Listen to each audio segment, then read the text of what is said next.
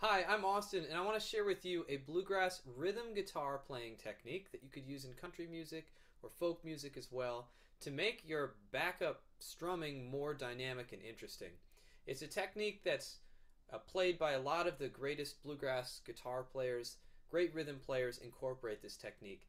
I call it the flourish. I want, I've slowed down a recording here to share with you what it sounds like. So we can really key into what it sounds like. Here you go. Life,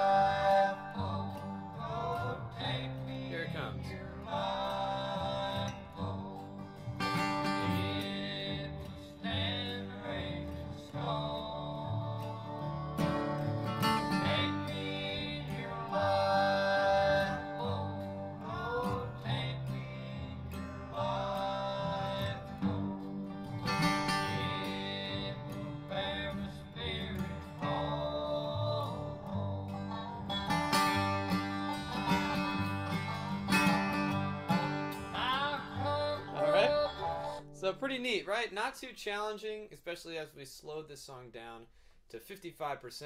That's what you often have to do to hear these intricacies. But it's in this recording here that we hear this great little technique that is essentially playing, if we dumb it down and make it to its most basic, it's strumming louder in the spaces where there are no vocals. So that's essentially what we're aiming to do here. I'm going to demonstrate and give you a technique to practice getting it really strong and even so that it feels like this little wave of energy, a little bit extra kind of dynamic energy in the backup. So we're going to be doing this on the key uh, in the key of G, and I'm using this this uh, G chord here, which just helps this technique sound a little bit better. So that's uh, with these two fingers down. Now, a couple rules that you want to kind of follow by. This louder strumming in the spaces I'm calling the flourish. You don't want to do it on the whole chord because it'll sound muddy. It's too loud muddy there. What we're aiming to do is just the the higher strings on the instrument. So maybe the the, you know the highest 3 or 4 like this.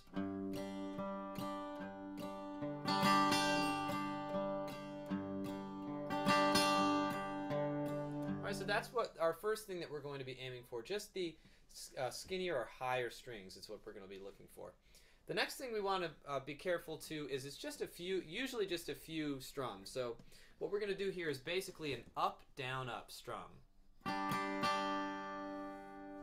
All right, so you can try just that, and then we'll put it together with the rest of this, the strumming.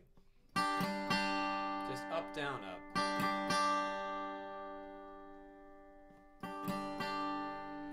That's kind of what we're doing, the most common rhythm. You could do it with different rhythms, but that's the most common of mm-hmm. all of them. So the way that fits into the strumming pattern, if you're a counter, would be like one E and a two E and a three and a four E and a one E and a two E and a three E and a four E and a. So it's going to happen right after that bass note. The way I like to practice that is along with this recording here, it's just a G chord played nice and slowly. So let's try that together at that speed. Ready? Just a G chord.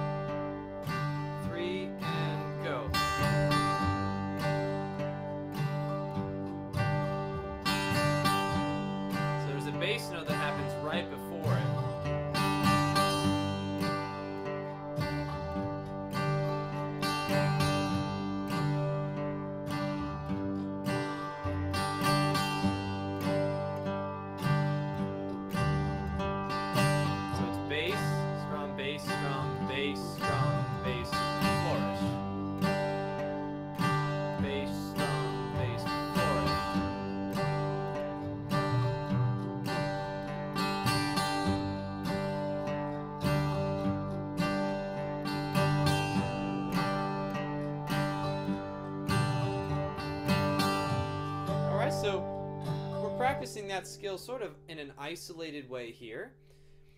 You can sort of think of it as a drum fill. It's just filling in the spaces where there's not singing happening. You could also use this during someone's instrumental solo or their break to make the backup to their playing a little bit more interesting. So in which case, you're still thinking the phrasing of what the singer would be singing, and you put those flourishes where the spaces would be with the singing. That'll kind of make shape, more shape to the solo that that person's taking. It'll also help people stay in time and kind of recognize the form a little bit better because you're following the structure of the the melody.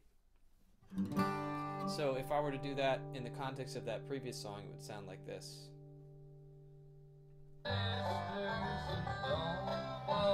There'll be a. Uh, I'll skip ahead to a solo so you can hear that.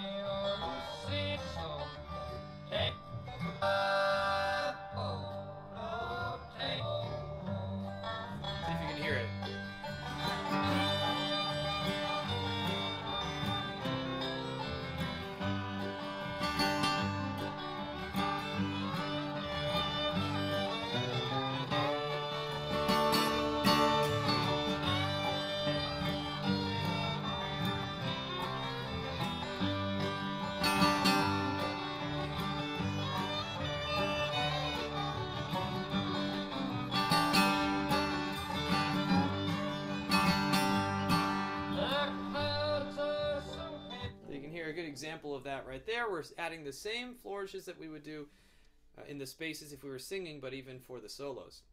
So let's practice that in the key of D. Same pattern where we'll just do, you know, a few beats of strumming and then one one flourish. All right, here's the key of D.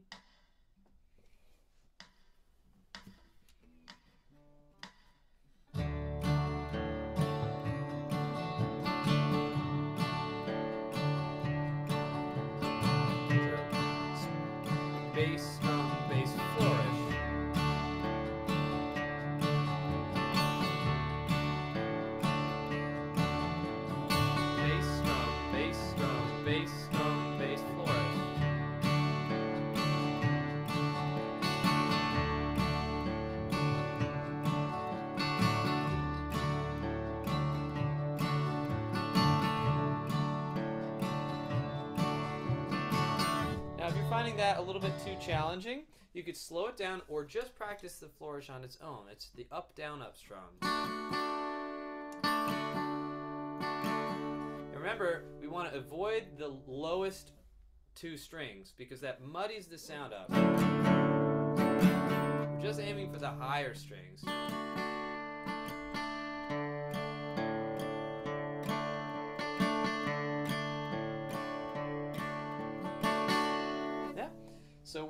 That in the key of G and in the key of D. In just this very simple scenario where you are filling in the space every few beats. Once you've done that, find the songs that you know that have a lot of spaces in them and practice this flourish technique with a song that you know really well in the spaces. It might be harder to do this singing and playing at the same time at first. A good place to practice it is in jams when you are accompanying other singers and you can focus on your guitar playing. It'll become more natural over time. If I were to demonstrate on this, this like a song, Will the Circle Be Unbroken, it would sound like this. Will the circle be unbroken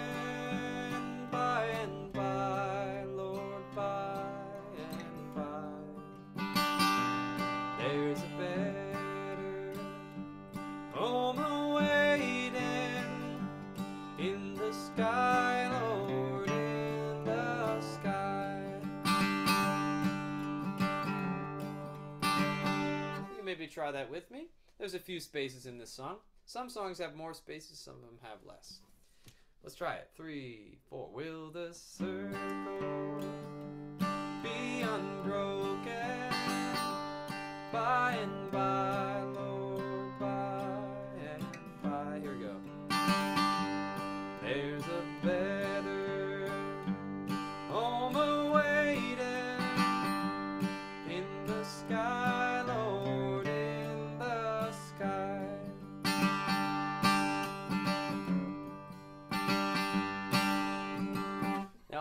demonstrating at the very end there a cool technique where you're combining the flourish with what's called the push, which is another skill that you can use. I have a separate video on that. So make sure to check out that. It's called the push and I think the video is called "Supercharge Your Rhythm Playing." If you kind of put it on a really strong, uh, strong song that has uh, um, accents and emphasis on certain words, it's a really good tool to use. But it also you can mix it with the flourish, the two techniques. Basically, in the spaces, you want to be doing one of the ways that you can play more interestingly is this push, the flourish, or the bass lines, which I have another video on finding bass lines and getting the timing right on that. So, hope you enjoyed this technique. Again, my name's Austin. I have several videos on bluegrass rhythm guitar, bluegrass country rhythm guitar, as well as uh, videos on my channel for ear training and mandolin, fiddle, uh, practice techniques and strategies. And also, my website has a really uh, a big set of resources for inspiration for guitar or mandolin or fiddle, weekly and monthly inspiration. That's all in one place. And you, again, you can find that on um, my website, which is just my name, Austin Scelzo, and Shelzo spelled like Skelzo. Uh, .com. You can see that all in the description.